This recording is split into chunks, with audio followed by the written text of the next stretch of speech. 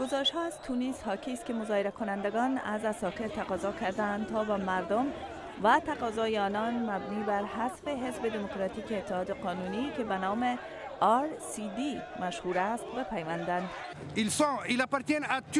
تنها چیزی که ما از فرزندان تونس می خواهیم ترک حزب RCD است و ما می خواهیم احزاب جدید را ایجاد کنیم و برای آن با وقت احتیاج داریم. در اوایل روز دوشنبه قوای امنیتی از پرتاب آب، شلیک گاز اشکاور و فیلهای هوایی در حال استفاده نمودند که مظاهره کنندگان در سرک ها حضور داشتند. حدود یک هزار تن در چهارراه اصلی پایتخت در تظاهرات علیه حزب بر سر اقتدار جمع شده بودند. الساده الوزراء الساده والسيدات در حالی که تظاهرات ادامه یافت محمد غنوچی صدر یک حکومت ائتلافی را اعلام کرد که بخش از آن متشکل از حزب بر سر اقتدار بوده ولی شامل تعدادی از رهبران مخالفین نیز می گردد. قرار است انتخابات ریاست جمهوری تا 60 روز دیگر با حضور ناظرین بین المللی برگزار گردد. به نلی رئیس جمهوران کشور بر روز جمعه بعد از هفته ها تظاهرات خشونت آمیز به عربستان سعودی فرار نمود ولی تظاهرات تازه بیانگر آن است که این امر کافی نمی باشد. اریک گولدستاین یک متخصص از تونس امیدوار است که رهبران آن کشور آنچه را وی درس درست از واقعات اخیر مینامد آموخته باشند.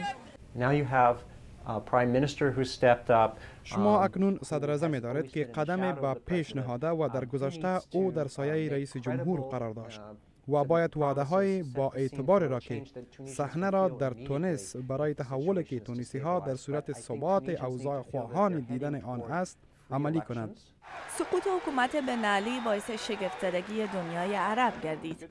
محله که در آن بیشتر کشورها دارای رهبران مستبد می باشند که حکومات مستبدانه و سرکوب کننده را اداره می کنند گلدستان می‌گوید که واقعات در تونس به دلیل عدم موجودیت انستیتیوت های قوی و دموکراتیک به وقوع پیوست. که مشکلی است که در تمام کشورهای عربی وجود دارد. مخالفین برای انجام تظاهرات صلحآمیز راه ندارند. رقابت سیاسی در میان احزاب مختلف وجود ندارد. دیر یا زود این همه لبریز می شود چرا که مردم فقط نان نمی خواهند آنان می خواهند قادر باشند عقاید خود را ابراز کنند و حکومت خود را مسئول بدانند. بر روز دوشنبه یک مرد مصری خود را در مقابل امارت پارلمان در قاهره با آتش کشید. مقامات حد زدند که این عمل روی اعتراض به فقر همگیر صورت گرفته است و عین این عمل نیز در تظاهرات در تونس رخ داد. لینا روزبه تلویزیون آشنای صدای امریکا واشنگتن.